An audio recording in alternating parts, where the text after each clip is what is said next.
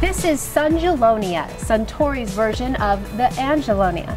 Aaron, can you tell us a little bit about this variety? I'd be happy to. Uh, great, great product. They just rolled out with this year. The first thing people are really going to notice about this, it's a lot more compact than other vegetative Angelonias out on the market. Does it come in multiple groups?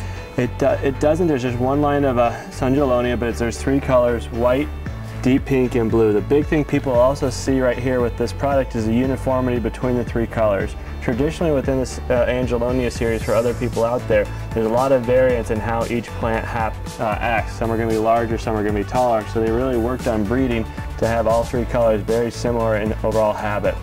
Aaron, what are some of the benefits of the Sungelonia? One of the big benefits of Sungelonia is how early it is to flower. It's, out of all the Angelonias out on the market, it's going to flower first, which is a big benefit for people who want to have crops in flower in those peak ship weeks.